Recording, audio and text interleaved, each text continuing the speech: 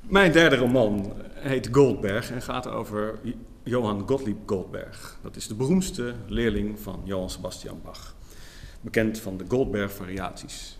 Uh, het gekke is dat hij heel bekend is, zijn naam is althans heel bekend, maar over zijn leven weten we niet zo heel erg veel.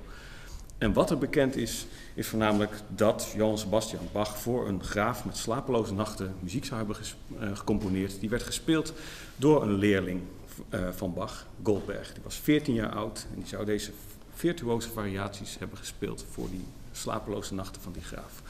Dat is eigenlijk het enige wat we weten. En toch ben ik in staat geweest om daar een roman van ongeveer 600 bladzijden over te schrijven. Wat op zich al een prestatie is. Dus ik hoop dat u het gaat lezen en er net zoveel plezier aan beleeft om het te lezen als ik had om het te schrijven.